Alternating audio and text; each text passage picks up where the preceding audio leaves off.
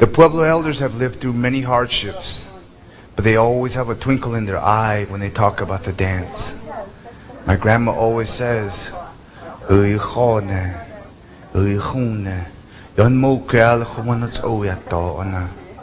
Now when your arms and your legs are strong, now is the time to experience and experiment with the dance.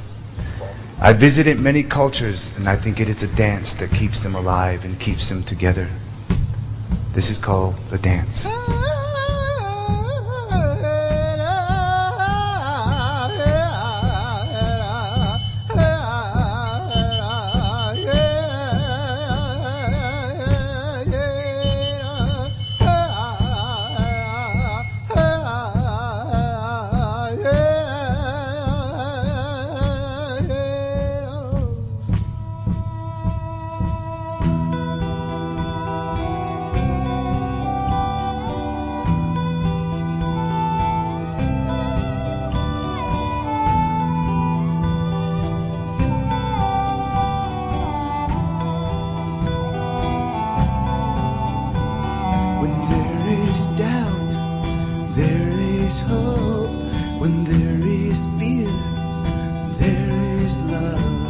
When there is hate, there is peace.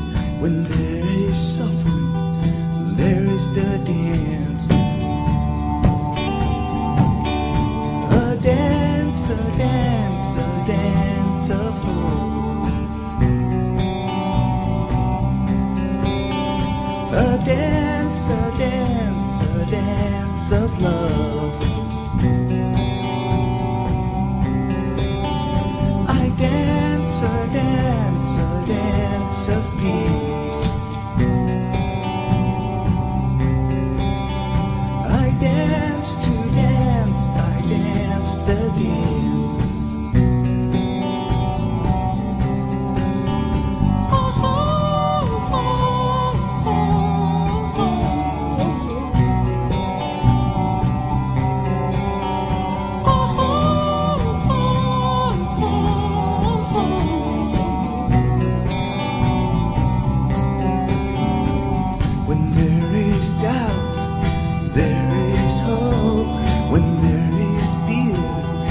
There.